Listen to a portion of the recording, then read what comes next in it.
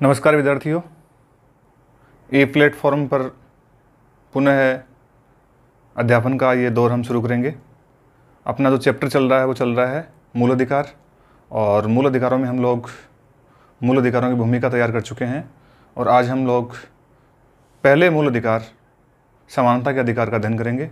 और ध्यान देना आपको मूल अधिकार का जो पूरा चैप्टर है वो बहुत वाइड है तो उसको हम कई पार्टों में बांट के पढ़ रहे हैं। आज का जो हमारा अधिकार रहेगा, वो रहेगा समानता का अधिकार। लेकिन समानता के पूरे जो अधिकार हैं, उसके पूरे जो आर्टिकल है पाँच, उनका अध्ययन हम नहीं करेंगे, बल्कि समानता के जो अधिकार है, उसका प्रमुख जो आर्टिकल है, आर्टिकल चौदह, उसकी विस्तृत व्याख्या हम जानेंगे। आज की हमारी जो व्याख्या है, उसका उद्देश्य रहेगा कि कैसे हम उस संविधान के आर्टिकल चौदह में जो दी हुई शब्दावली है, उसको समझें, उसको पढ़ें और कैसे जो शब्दावली है और आर्टिकल जो चौदह है, वो हमारे लिए प्रतियोगी परीक्षाओं के लिहाज से महत्वपूर्ण है। तो आज का हमारा जो टॉपिक है, वो है समानता का अधिकार।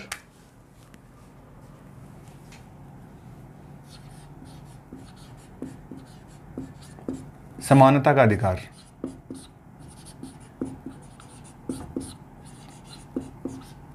मूल अधिकारों से जुड़ी हुई जो महत्वपूर्ण बातें हैं, वो हमारी पहले वाले चैप्टर्स में पूरी हो गई हैं। उसमें मैंने आपको आर्टिकल 12 से 35 तक की पूरी कहानी का जो ओवरव्यू है, वो बताया था मैंने आपको। और आर्टिकल 12 और 13 की जो विस्तृत व्याख्या है, वो भी हमने दो लेक्चर्स के माध्यम से कंप्लीट करी थी। आज हम समानता का जो अधिकार है, पहले मैं बता दूँ आपको कि जो समानता का अधिकार है, वो भारतीय संविधान के अनुच्छेद 14 से लेकर 19 तक सॉरी 14 से 18 तक, पाँच अनुच्छेदों में नहीं था ये। अनुच्छेद 14 पंद्रह, सोलह, सत्रह, अठारह। उन्नीस में फिर स्वतंत्रता का अधिकार शुरू होता है। तो इस पूरे समानता का अधिकार जो पूरा अधिकार है अपना, पूरा का पूरा जो समानता वाला पोर्शन है, उसमें से केवल और केवल आज हम लोग आर्टिकल चौदह की बात करेंगे। आर्टिकल चौदह है, वो हम ये कह सकते हैं कि समानता का जो अधिकार वाला पूरा भाग है, उसकी पूरे की पूरे की शान है या पूरे की ताकत है वो। अनुच्छेद चौदह। तो अनुच्छेद चौदह का शीर्षक पहले मैं बता दूँ आपको। अनुच्छेद चौदह है, वो क्या कहता है?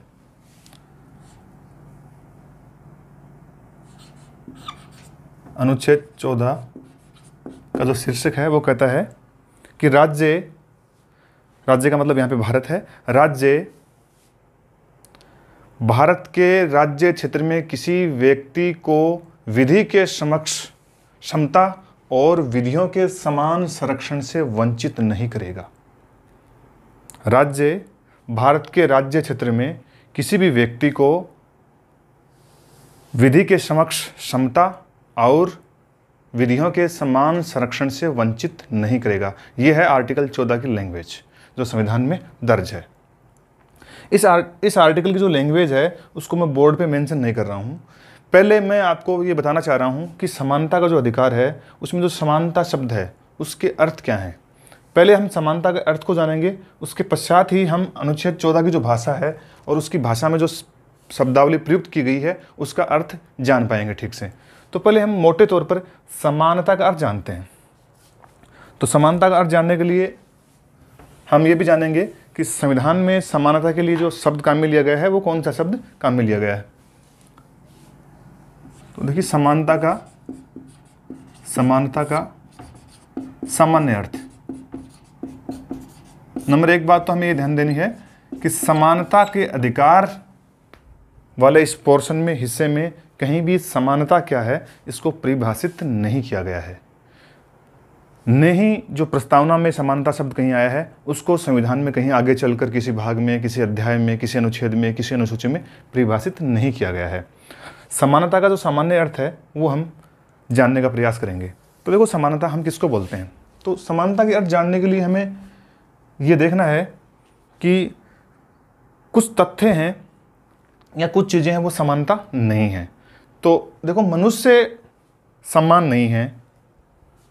मनुष्य समान नहीं है और मनुष्य के साथ समानता का बर्ताव हो। जब ये सेंटेंस मैं बोल रहा हूँ, मनुष्य समान नहीं है। जब मैं बोलता हूँ कि समानता तो इसका मतलब ये नहीं है कि मनुष्य समान है, बल्कि मैं कहना चाहता हूँ कि मनुष्य समान नहीं है, उनके साथ समानता का बर्ताव होना चाहिए। तो मैं दो जगह समान शब्द काम में ले रहा हूँ। एक जगह समान, एक जगह समानता। मैं बोल रहा हूँ कि मनुष्य समान नहीं है। उनके साथ समानता का बर्ताव होना चाहिए। तो समान नहीं है। तो वास्तव में जो समानता का अर्थ छुपा हुआ है, वो इसमें छुपा हुआ है कि मनुष्यों के साथ समानता का बर्ताव होना चाहिए। जब मैं कह रहा हूँ समानता तो इसका मतलब ये नहीं है कि मनुष्य समान है, बल्कि मैं कह रहा हूँ कि मनुष्य समान नहीं है, बराबर नहीं है सब। तो उनके साथ कैसा व्यवहार होना चाहिए? समानता का। तो समानता यहाँ पे जब मैं बोल रहा हूँ तो समानता यहाँ पे भाव लिए हुए है। समानता का भाव का मतलब है बराबरी का भाव। यहाँ पे जब मैं समानता बोल रहा हूँ तो मैं यहाँ पे समरूपता नहीं बोल रहा हूँ, ये ध्यान देना आपको। समानता है वो, समरूपता नहीं है। सभी को समान कर दिया जाए, ये भी समानता का भाव नहीं है। सभी को समान कर दिया जाए, या सभी समान होते हैं, ये भी समानता का भाव नहीं है। समरूपता का मतलब होता है सबको समान बना दिया जाए, या सबका रूप बराबर कर दिया जाए, वो समरूपता भी समानता नहीं है। समानता वास्तव में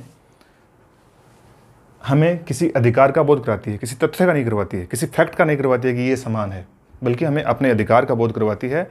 और समानता में ये भाव निहित है कि सभी व्यक्ति जो राज्य में निवास कर रहे हैं, उनके साथ समानता का बर्ताव होना चाहिए।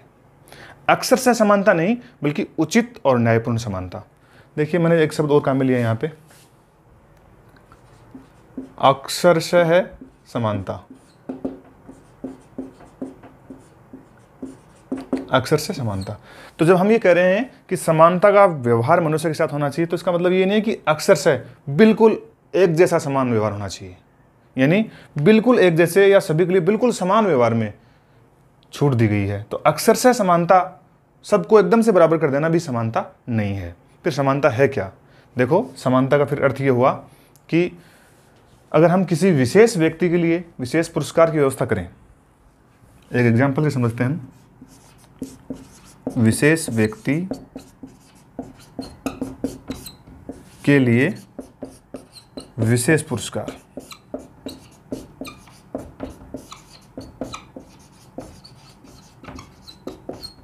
देखिए, एक सामान्य उदाहरण से हम समझ सकते हैं। हम मानते हैं कि भारत सरकार और राज्य सरकार के अधीन जो विभिन्न सरकारी सेवाएँ हैं, उन सरकारी सेवाओं में जो कार्यरत कर्मचारी हैं, कार्मिक हैं, अधिकारी हैं, उन सबको वो सब सरकारी हैं। सब सरकारी कर्मचारी और अधिकारी हैं। लेकिन सबका समान वेतन नहीं है।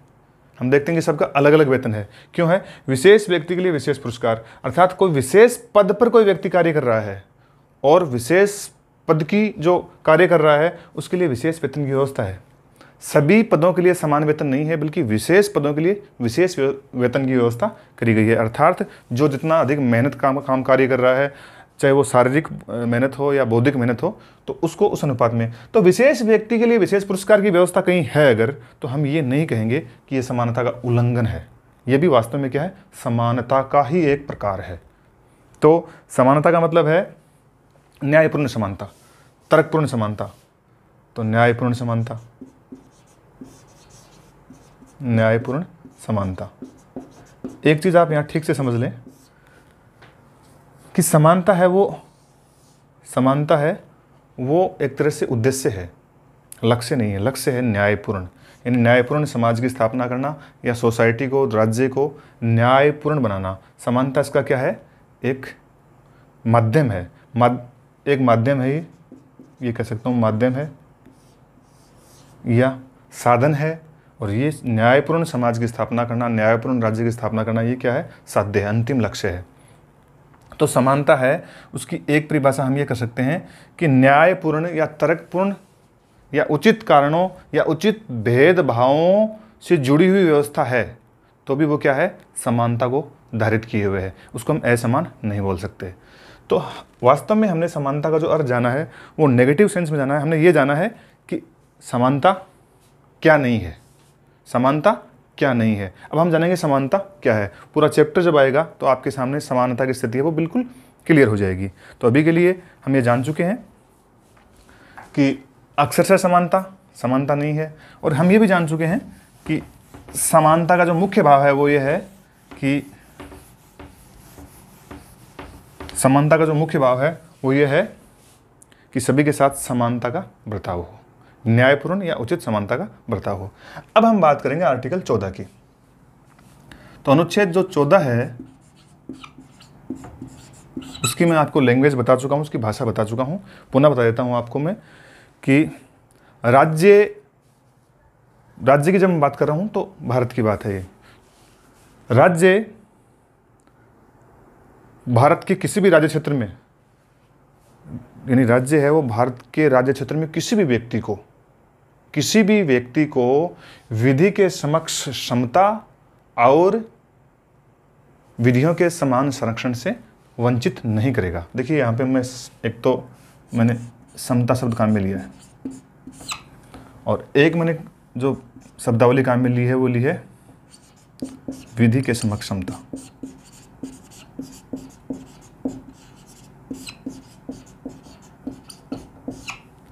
दूसरी शब्दावली जो मैंने काम में ली है, नंबर एक ये, नंबर दो ये। दूसरी जो काम में ली है, वो ली है, विधियों का समान संरक्षण।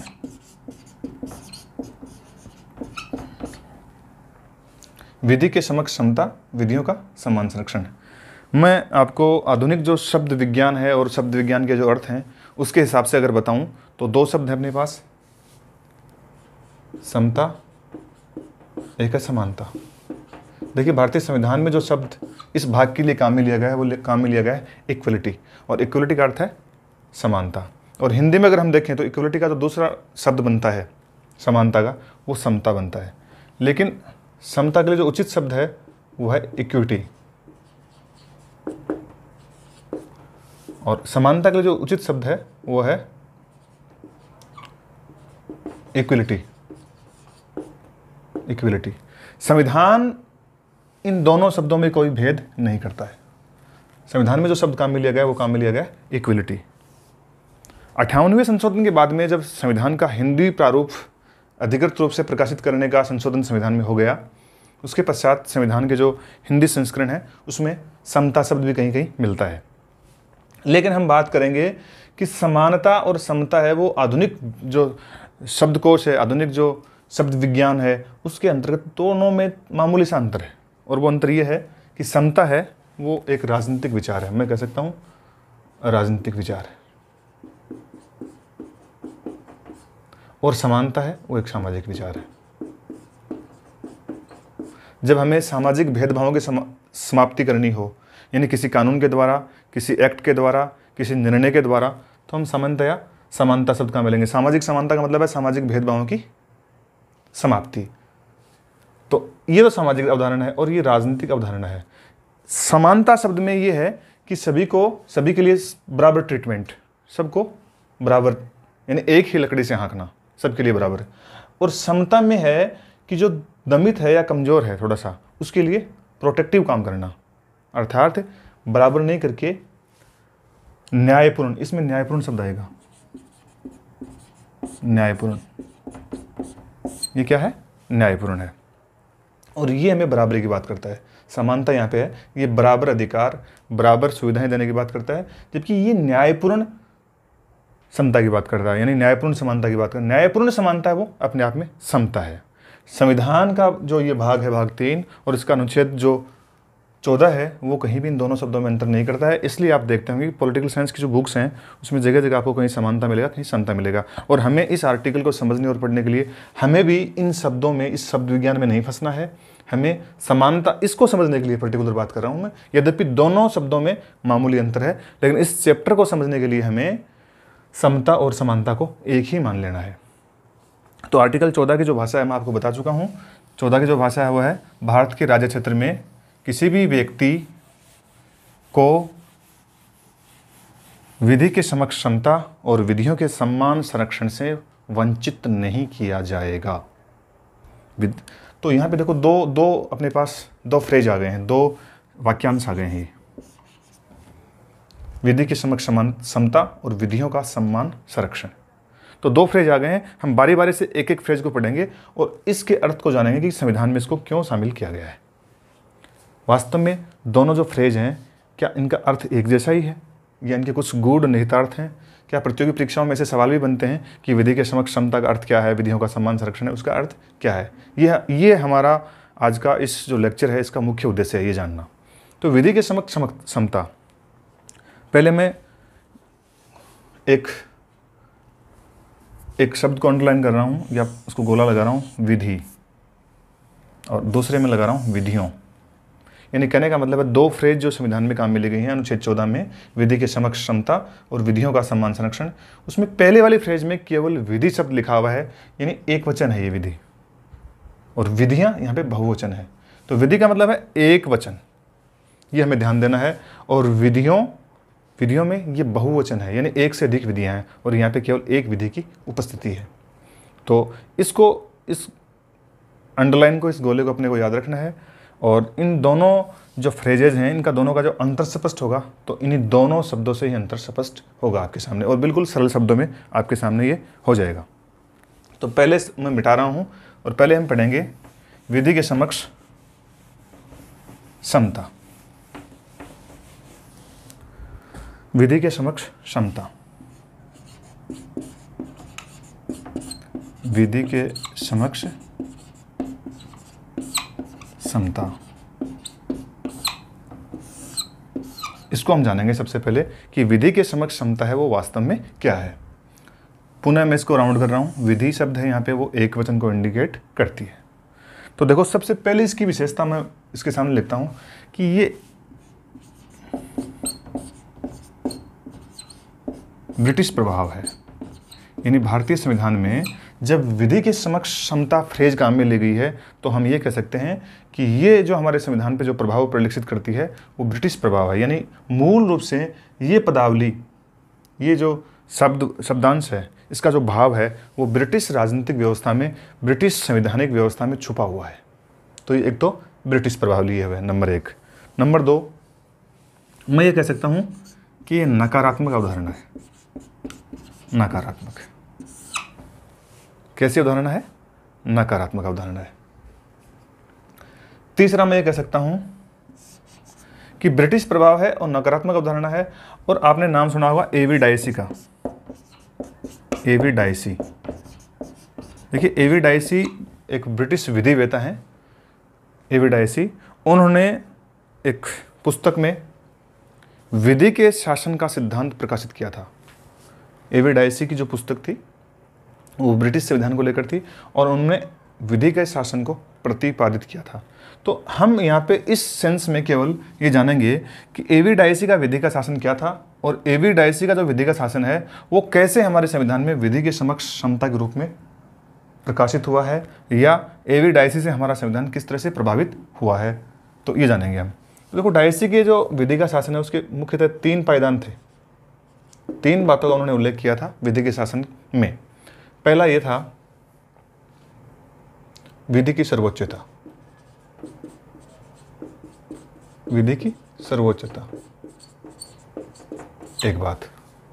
विधि की सर्वोच्चता का मतलब है, विधि सबसे ऊपर है। विधि से ऊपर कोई भी नहीं है। और इसको दूसरे शब्दों में बोलूँगा तो ये बोल सकता हूँ कि विधि सबसे ऊपर है और किसी भी व्यक्ति को जब तक कि उसने किसी विधि का उल्लंघन नहीं किया हो, दंडित नहीं किया जा सकता। जब मैं ये बोल रहा हूँ, किसी भी व्यक्ति को जब तक उसने किसी उपलब्ध विधि का उल्लंघन नहीं किया है, उसको हम दंडित नहीं कर सकते। तो इसका अर्थ है कि विधि सबसे ऊपर हो गई है। व्यक्ति को दंड किससे मिलना है? विधि से। और उसने विधि का उल्लंघन किया ही नहीं है तो वो दंडित नहीं होगा। यानी किसकी महिमा बताई गई है? विधि की। विधि सबसे ऊपर है। तो डायसी का जो विधि का शासन है, उसमें विधि की सर्वोच्चता है।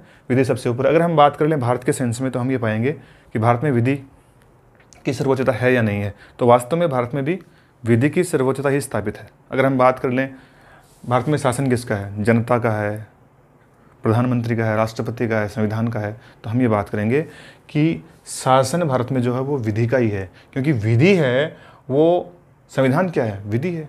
संविधान हमारे देश की मौलिक विधि है। और जो ताकत मिली हुई है, प्रधानमंत्री, राष्ट्रपति, मंत्रिमंडल को, राज्य की सरकारों को कहाँ से मिली हुई है? संविधान से मिली हुई है। तो विधि की सर्वोच्चता, विधि के शासन का पहला भाग है। दूसरा भाग है विधि के समक्ष क्षमता विधि के समक्ष समता। ये दूसरा वाला भाग है, यानी डायसी की विधि के शासन का जो सिद्धांत था, उसका दूसरा भाग है, वो हमारे संविधान के आर्टिकल 14 में विधि के समक्ष क्षमता के रूप में परिभाषित है, और इसका अर्थ है विधि के सामने सब बराबर होंगे, सबके लिए एक जैसी विधियाँ होंगी। सबके लिए विधियाँ कैसी होंगी? एक जैसी विधियाँ होंगी। तीसरा भाग था वो अपने भारत के सेंस में लागू नहीं होता। दोनों ये लागू हो रहे हैं। देखो, विधि की सर्वोच्चता लागू है अपने भारत में, क्योंकि भारत में संविधान सर्वोच्च है। न संसद सर्वोच्च है, न कुछ और सर्वोच्च हैं। केवल कौन सर्वोच्च है? संविधान सर्वोच्च है। तो दो इसके पायदान लागू हो रहे हैं। तीसरे पायदान की चर्चा हम नहीं करेंगे विधि के शासन की, क्योंकि तीसरा पायदान हो कि ब्रिटिश के लिए ब्रिटिश सिस्टम के लिए है। हमारे यहाँ भारत में इम्प्लीमेंट नहीं होता है। और वो इस बात को लेकर है तीसरा संविधान तीसरा जो सिद्धांत है इसका, वो इस बात को लेकर है कि जो संविधान की शक्तियाँ हैं, वो व्यक्तिनिष्ठ हैं या व्यक्तियों को संविधान से शक्ति मिली है या संविधान को व्यक्तियों ने शक्ति प्रदत्त की है, इस बात को लेकर है। तो अपने लिए यहाँ पे है नहीं, क्योंकि वहाँ पे तो अलिखित संविधान है, इसलिए ये चीज़ सम्मानित है वहाँ पे। हमारा यहाँ पे लिखित संविधान है, इसलिए ऐसा कोई प्रश्न पैदा ही नहीं होता। तो विधि के शासन की जो दूसरी बात तथ्य था, विधि के समक्ष क्षमता, वो हमारे संविधान में अनुच्छेद चौदह में दर्ज है। अब मैंने आपको पहला जो लक्षण बताया था, वो ये बताया था कि ये ब्रिटिश प्रभाव है, क्योंकि डायसी डायसी का जो चिंतन था, वो ब्रिटिश प्रणाली में आया और ब्रिटिश प्रणाली से हमारे यहाँ पे आ गया। तो मैं पहली बात लिख रहा हूँ कि विधि के समक्ष क्षमता ब्रिटिश प्रभाव का परिणाम है। ये सत्य बात है। दूसरी, ये नकारात्मक है। देखो, नकारात्मक और सकारात्मक अब किसी चीज़ को बोलते हैं तो उसके दो सेंस होते हैं। नकारात्मक का मतलब होता है, देखो, ये नकारात्मक क्यों है? समानता या बराबरी की बात करता है। समानता या बराबरी की बात इसमें की गई है कि सभी के लिए समान विधियाँ होंगी, सभी के लिए बराबर विधियाँ होंगी। यह नकारात्मक है, क्योंकि किसी को कुछ अधिक विधियाँ या विधियों के माध्यम से किसी व्यक्ति को, व्यक्तियों के समूह को, व्यक्तियों के वर्ग को अधिक शक्ति नहीं दी गई है, बल्कि सबके लिए समान विधियाँ यहाँ पे काम में लाई गई हैं। और मैं बता दूँ आपको कि विधि के समक्ष क्षमता जो फ्रेज है, वो अगर भारत के सेंस में हम काम में लेंगे तो हम जब कहते हैं कि विधि के समक्ष क्षमता है भारत में तो इसका एक मोटा सा अर्थ ये निहित है इसमें कि जो आपराधिक विधियाँ हैं, देखो विधि को हम दो जगह बांट सकते हैं, एक तो आपराधिक दांडिक विधियाँ, जिसके माध्यम से दंड दिया जाता है, और एक ऐसी विधियाँ भी होती हैं जो सामाजिक विधियाँ बोलते हैं, जो सामाजिक कल्याण के लिए, सामाजिक सुधार के लिए लाई जाती हैं। तो विधि के समक्ष क्षमता का जो प्रमुख भाव है, वो दांडिक विधि में निहित है। यानी दंड देने से जुड़ी हुई जो विधियाँ हैं, वो भारत में एक जैसी हैं। अगर हम बात कर लें, ये नकारात्मक है क्योंकि ये एक ही विधि की बात करता है सबके लिए, सब भारतवासियों के लिए, भारत के राज्य क्षेत्र में सभी के लिए एक ही विधि की बात करता है। तो इस सेंस में हम बोलते हैं, नकारात्मक है ये। दूसरा, ये होगी क्लियर कि एविडाइसी ने विधि के जो, विधि का जो रूल ऑफ़ लॉ है, उसका उसका पार्ट है ये, जो हमारे संविधान में सम्मिलित किया गया है। अब हम इसकी तीसरी विशेषता को देखते हैं नकारात्मक है, ब्रिटिश है, ये देख चुके हैं। अब इसकी जो तीसरी विशेषता है वो ये है कि सभी के लिए समान विधि होगी और कोई भी विधि से ऊपर नहीं होगा। देखो, समान विधि।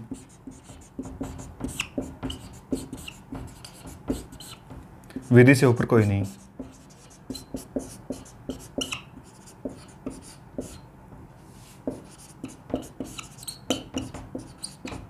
विधि से ऊपर कोई नहीं। तो समान विधि तो अभी हमारे सामने आई गई थी पहले वाले में समान विधि का मतलब है सबके लिए बराबर विधियाँ। कोई ऊँचा हो, नीचा हो, किसी की धर्म दूसरा हो, जाति दूसरा हो, या लिंग दूसरा हो, बच्चा हो, वयस्क हो, वृद्ध हो, सबके लिए विधि कैसी होगी? बराबर होगी। किसी के साथ कोई भेदभाव नहीं किया जाएगा। लेकिन वास्तव में अगर हम देखते हैं तो देखो समानता का, समानता को जो स्थापित करने का उद्देश्य है, वो न्यायपूर्ण समाज की स्थापना करना है। और न्यायपूर्ण समाज की स्थापना कब हो पाएगी? न्यायपूर्ण समाज की स्थापना तब हो पाएगी जब हम ये कहें कि जो लोग वंचित हैं, उनको कुछ अधिक दिया जाए। यहाँ पे क्या हो रहा है देखो, यहाँ पे सबको बराबर मिल रहा है। सबको बराबर मिल रहा है, जबकि अगर सकारात्मक अर्थ में होता तो इस अर्थ में होता कि जो कमज़ोर है, उसको अधिक मिलना चाहिए था। तो चूँकि सबको बराबर, सब समान विधि से ट्रीट किया जा रहा है यहाँ पे, इसलिए विधि के समक्ष क्षमता जो है ट्रम है, उसको नकारात्मक सेंस में ग्रहण किया गया है। या इसका एक, अगर एक ही शब्द में अगर अर्थ जानना हो इस इस पूरे टर्म का, विधि के समक्ष क्षमता तो मैं इसका एक लाइन में अर्थ लिख सकता हूँ और उससे भी इसका अर्थ निकल सकता है। और इसका अर्थ ये हो सकता है।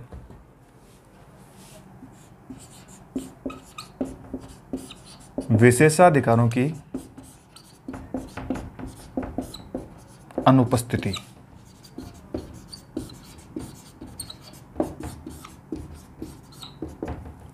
विशेषाधिकारों की अनुपस्थिति। अब मैं समझता हूँ कि बिल्कुल आपके दिमाग में क्लियर हो गया होगा कि विधि के समक्ष क्षमता क्या है, यानी विशेषाधिकार किसी के पास भी नहीं है।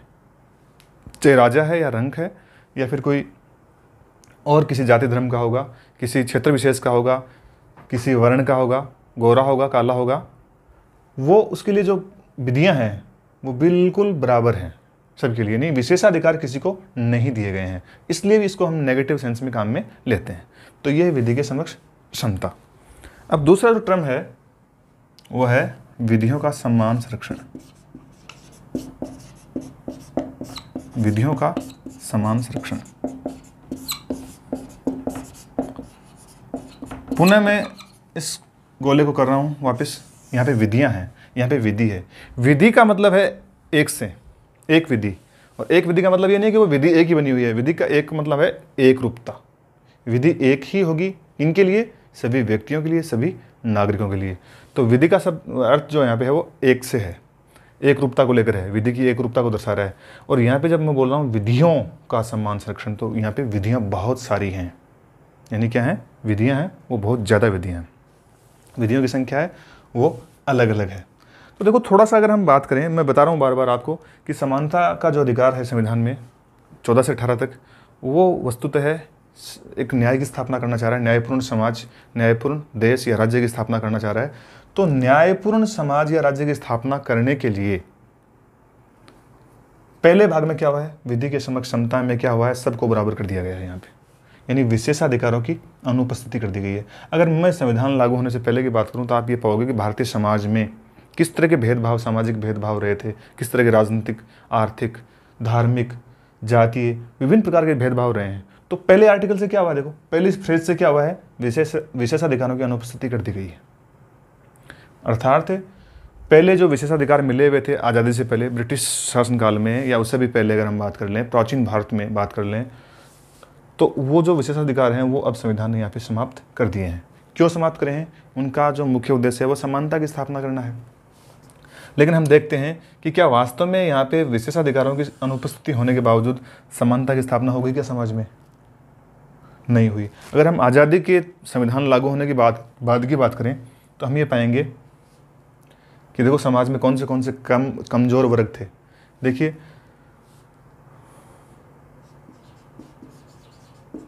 पिछड़े, दलित, महिलाएँ, वृद्ध और जाति, जनजाति। इनकी कल्पना करें। समाज की विभिन्न जो वर्ग हैं, विभिन्न जो क्लास हैं, इनकी अगर हम बात करें, आज़ादी के बाद में ये पिछड़े थे। लेकिन पिछड़े कब से थे? ये आदिकाल से, प्राचीन काल से। दलित। दलित थे, वो समाज की मुख्य धारा में शामिल नहीं थे। बल्कि समाज में कुछ जातियाँ, कुछ धर्म विशेष के लोग थे, जिनका शिक्षा पे प्रभाव था, अर्थव्यवस्था पे प्रभाव था, ये पिछड़े हुए थे। महिलाएँ वृद्ध, जातियाँ, जनजातियाँ विकलांग।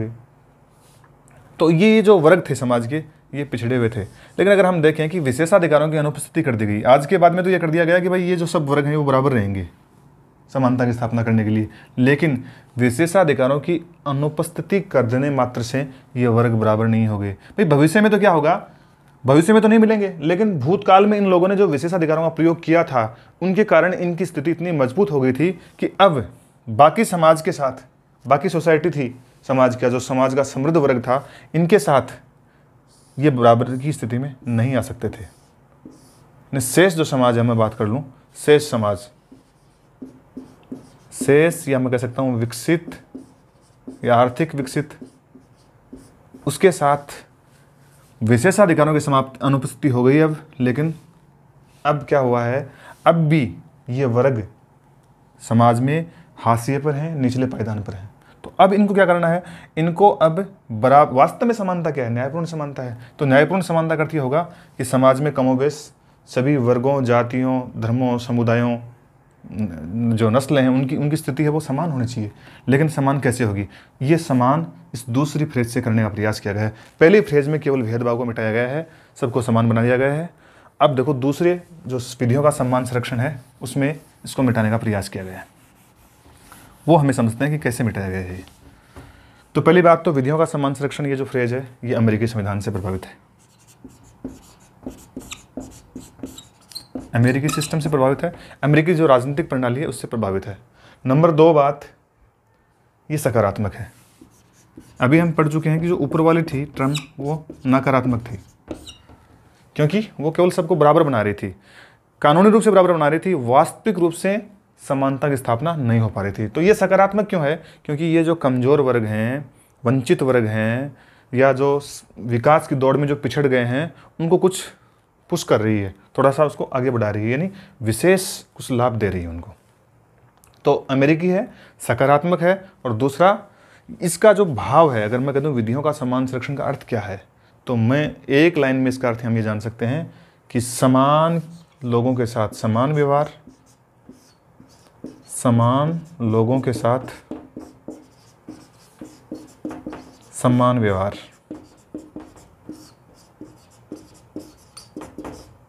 और असमान लोगों के साथ असमान व्यवहार। असमान लोगों के साथ असमान व्यवहार। ये इस विधियों के, विधियों का जो सम्मान संरक्षण है, इसका वास्तविक निहितार्थ है। तो निहितार्थ क्या हुआ समान लोगों के साथ समान व्यवहार। एक एग्ज़ाम्पल के माध्यम से अगर हम लोग समझें इस बात को तो हम ये समझेंगे कि कैसे समान लोगों के साथ समान व्यवहार होगा। मान लीजिए, राज्य है, वो अपने यहाँ पे, और राज्य के जो कुछ इकाइयाँ हैं, या राज्य अपने यहाँ पे खेलों का आयोजन करता है, और खेलों के आयोजन में क्या करता है वो? एक दौड़ प्रतियोगिता का आयोजन करता है। दौड़ का आयोजन करेगा राज्य। सभी नागरिकों के मध्य, एक राज्य के सभी नागरिक हैं, वो दौड़ में भाग लेंगे और ये तय करेगा राज्य। राज्य पुरस्कार देगा, किसको देगा? जो दौड़ में प्रथम स्थान प्राप्त करेगा। अब दौड़ दौड़ने के लिए यहाँ पे देखें हम ध्यान से। दौड़ दौड़ने के लिए कौन कौन लोग आए हैं? राज्य में कौन कौन लोग हैं देखो? राज्य में कौन से लोग हैं? राज्य में वृद्ध भी हैं,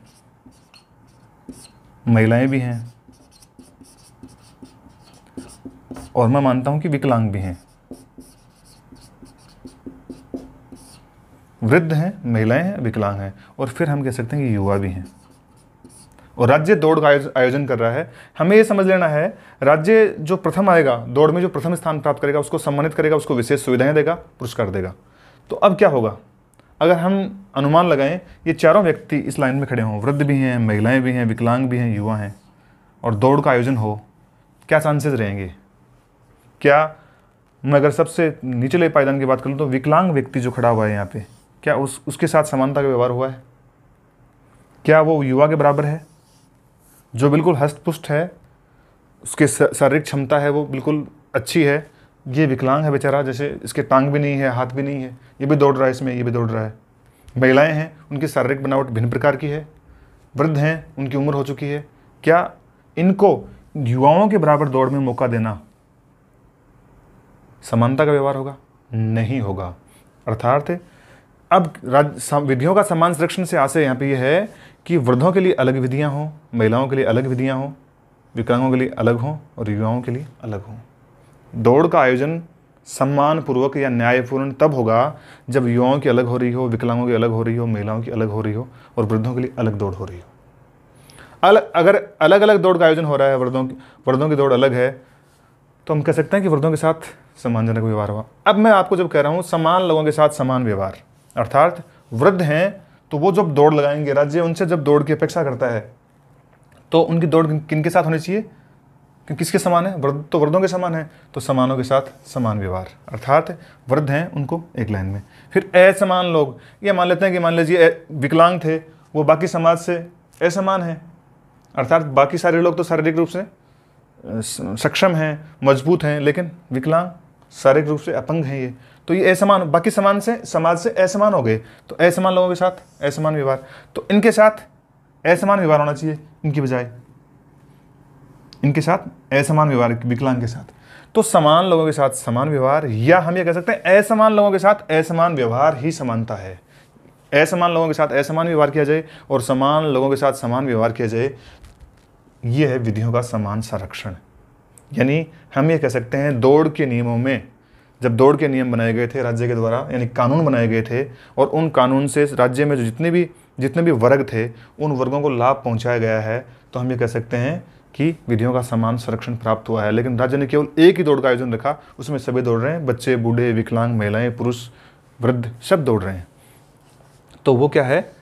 वो तो ये ये वाली जो स्थिति है, जिसमें सब एक साथ दौड़ रहे हैं, वो तो है विधि के समक्ष समता। नहीं, सब विधि के सामने बराबर हैं, सबको बराबर ट्रीट किया जा रहा है। दूसरे वाली जो फ्रेज है, विधियों का सम्मान, संरक्षण, इसका मतलब है जो वंचित वर्ग हैं या विशेष आवश्यकता वाले जो वर्ग हैं, उनको विशेष कानूनों के साथ ट्रीट किया जाएगा। यानी इनको अगर हम कुछ लाभ भी देंगे तो ये समानता के अधिकार का उल्लंघन नहीं होगा। मान लीजिए, दौड़ का आयोजन हुआ ऐसी स्थिति में, और दौड़ थी मान लीजिए एक किलोमीटर की तो एक किलोमीटर की दौड़ यहाँ पे ख़त्म हो जाएगी, और शुरुआत यहाँ से होनी थी दौड़ के इधर आएँगे। तो मान लीजिए एक किलोमीटर की दौड़ में सबसे सबसे आगे की लाइन में जो खड़ा किया गया है, वो किसको खड़ा करा गया है? विकलांग को। क्योंकि इसके एक ही पाँव है, विकलांग है। सबसे अंत में कौन आएगा? युवा। यानी युवा है, उसको ज़्यादा दौड़ लगानी पड़ रही है दौड़ को जीतने के लिए। विकलांग को कम ही लगानी पड़ेगी, क्योंकि वो शारीरिक रूप से अक्षम है। अर्थात राज्य क्या करता है? राज्य वंचित या कमज़ोर या असहाय या अपंग या निर्धन या हम किसी भी तरह से कमज़ोर वर्ग मान सकते हैं, के लिए विशेष सुविधाओं की, विशेष कानूनों की व्यवस्था करेगा, उनको एक ही कानून से ट्रीट नहीं करेगा, नहीं तो समानता के वास्तविक लक्ष्यों की प्राप्ति नहीं हो पाएगी और न्यायपूर्ण समाज की स्थापना नहीं हो पाएगी। तो ये है विधियों का समान संरक्षण और हम देखते हैं कि हमारे भारतीय राज्य या समाज में हम देखते हैं कि अलग अलग जो वर्ग हैं समाज में, उनके लिए अलग अलग कानून बने हुए हैं, महिलाओं के लिए अलग हैं, आदिवासियों के अलग हैं, अनुसूचित जातियों के अलग हैं और जो विकलांग हैं, उनके लिए अलग हैं। तो अलग अलग कानूनों से अलग अलग जो वर्ग हैं, वो शासित हों। यह है विधियों का सम्मान संरक्षण यानी समान लोगों के साथ समान व्यवहार और असमान लोगों के साथ असमान व्यवहार। ये विधियों का सम्मान संरक्षण है। अब मैं और आगे इसमें बात करूँ तो मैं कह सकता हूँ कि ये जो समानता का अधिकार है और उसमें आर्टिकल चौदह है तो ये जो विधियों के समक्ष समानता है और विधियों का समान संरक्षण है, इस आर्टिकल में एक दो बातें हमें और जान लेनी है। पहला तो ये जानना देखो, प्रतियोगी परीक्षा के लिहाज से इसमें से, कि ये ये जो आर्टिकल है अनुच्छेद चौदह, ये अनुच्छेद चौदह जो है, इसमें दोनों जो फ्रेज हैं ये ये किसको मिला हुआ है? ये जो मूल अधिकार है अनुच्छेद चौदह में किसको मिला हुआ है? तो नंबर एक बात तो देखो, व्यक्ति को मिला हुआ है, ये हमें ध्यान देना है। व्यक्ति को। और जब मैंने व्यक्ति शब्द यहाँ पे लिखा है तो इसका मतलब है, ये भारतीय नागरिक को भी मिला हुआ है और जो विदेशी व्यक्ति भारत में रह रहा है, उसको भी मिला हुआ है। आर्टिकल चौदह है, वो दोनों को मिला हुआ है। दूसरा देखो, मैं कह सकता हूँ, व्यक्ति के साथ साथ ये विधिक व्यक्ति को भी मिला हुआ है। यानी जो कानूनी संरक्षण है और कानूनी जो समानता है, वो न केवल व्यक्ति को मिलेगी, नागरिक को मिलेगी, बल्कि विधिक व्यक्ति को भी मिलेगी। और विधिक व्यक्ति से आशय ये है कि जैसे कोई कंपनी है कोई निगम है कोई संस्था है, सोसाइटी है, समिति है, ये भी क्या है? समिति, निगम, संस्था, यानी राज्य अपने कानून से जब कानून बनाएगा तो इनके साथ भी कोई भेदभाव पूर्ण व्यवहार नहीं हो पाए। विधि है, वो उनके साथ भी कोई भेदभावपूर्ण व्यवहार नहीं कर दे, ये भी इस बात में निहित है। दूसरा, विधिक व्यक्ति को मिला हुआ है ये, और तीसरा, अगर मैं ये कहूँ तो एक मोस्ट पॉपुलर सवाल जो है इस आर्टिकल से जो बनता है, प्राकृतिक न्याय। प्राकृतिक न्याय पर आधारित अनुच्छेद। बहुत सारी परीक्षा में पूछा हुआ है कि निम्न में से भारतीय संविधान का कौन सा आर्टिकल कौन सा अनुच्छेद है, वो प्राकृतिक न्याय की स्थापना करता है? आंसर रहेगा आर्टिकल चौदह। कैसे करता है? देखो, प्राकृतिक न्याय का मतलब होता है प्रकृति प्रदत्त न्याय, यानी कुछ न्याय के ऐसे विशिष्ट गुण हैं जो प्रकृति प्रदत्त हैं, जो व्यक्ति होने के नाते और व्यक्ति होने के नाते ही मिलते हैं वो। तो प्राकृतिक न्याय का मतलब है यूनिवर्सल ट्रुथ सार्वभौमिक सत्य। तो देखो, प्राकृतिक न्याय का सिद्धांत कहता है कि व्यक्ति है, उसको न्याय मिले, चाहे वो किसी भी वर्ग का हो, जाति का हो, धर्म का हो, क्षेत्र का हो। तो जो विधियों का समान संरक्षण वाला जो बंद मैं आपको बता रहा था कि अलग अलग व्यक्ति हैं समाज में, उनके लिए अलग अलग विधियाँ होंगी। तो अलग अलग व्यक्तियों के लिए अलग अलग जब विधियाँ होंगी तो इससे क्या होगा? प्राकृतिक न्याय की स्थापना होगी कि नहीं होगी? होगी। यहाँ पे तो नहीं हो रही है विधि के समक्ष क्षमता से तो क्योंकि सबके लिए बराबर है। लेकिन ये जो आर्टिकल का दूसरा फ़ेज़ है, विधियों का सम्मान संरक्षण, ये वास्तव में प्राकृतिक न्याय की स्थापना कर रहा है। और अगर और इसी आर्टिकल की बात करूँ मैं चौदह की तो एक देखो, सर्वोच्च न्यायालय ने इसको मूल ढांचा मान रखा है कि जो विधि का शासन है विधि का जो शासन है, वो संविधान का मूल ढांचा है और इसमें संसद है, वो संवैधानिक संशोधनों के माध्यम से भी परिवर्तन नहीं कर सकती, परिवर्तन नहीं ला सकती।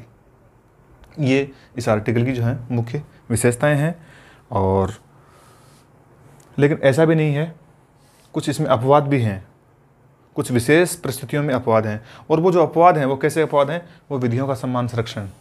यानी विभिन्न प्रकार के पदों को के पदों के जो कर्तव्य का निर्वहन कर, कर रहे हैं विभिन्न व्यक्ति तो उनको कुछ विधियों से छूट दी गई है उन्मुक्ति दी गई है। जो उनके पद के दायित्वों को पूरा करने के लिए या सुचारू रूप से पूर्ण करने के लिए आवश्यक हैं। तो हम उसको ये नहीं कह सकते कि ये समानता के अधिकार का उल्लंघन है या समता के अधिकार का अपवाद है। लेकिन हम ये कह सकते हैं कि विशेष उन्मुक्तियाँ प्राप्त हैं छूट प्राप्त हैं। तो वो कौन सी कौन सी हैं? देखो एक तो अनुच्छेद तीन सौ इकसठ के तहत आपने को याद रखना है। कौन सी कौन सी उन्मुक्तियाँ मिली हुई हैं? देखो अनुच्छेद तीन सौ इकसठ। तीन सौ इकसठ के तहत राष्ट्रपति व राज्यपाल को अपने पद के कर्तव्य निर्वहन के समय किए गए किसी भी कार्य के लिए, किसी भी न्यायालय में जवाबदेहिता नहीं रखी गई है। अर्थात संवैधानिक पद है राष्ट्रपति और राज्यपाल।